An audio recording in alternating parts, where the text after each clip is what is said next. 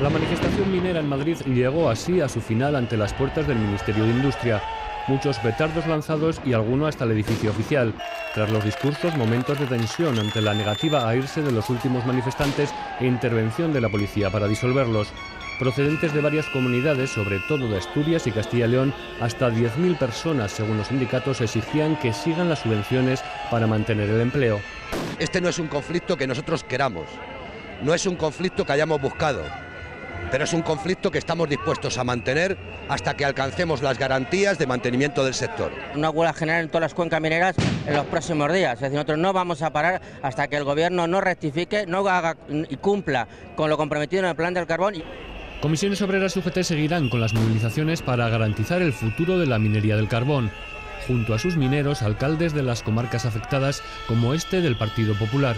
Que se han equivocado, que están cometiendo un error grave que todavía es unsanable. Y también representantes de la oposición, que todavía esperan que en el Senado se dé marcha atrás.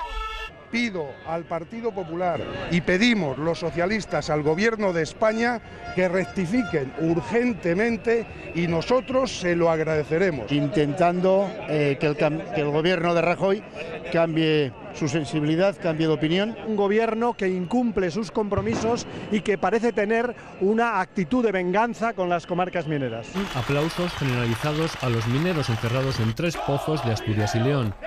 La Junta de Castilla y León del Partido Popular también pide rectificación. El gobierno de España se está equivocando con el tema de la minería. Nosotros estamos defendiendo el sector el ministro de Industria dice estar abierto al diálogo con sindicatos y empresarios.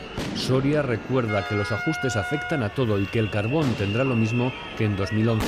No hay menos que en el año 2011 desde el punto de vista de lo que se ha ejecutado, sino que hay la cuantía que exactamente se ejecutó.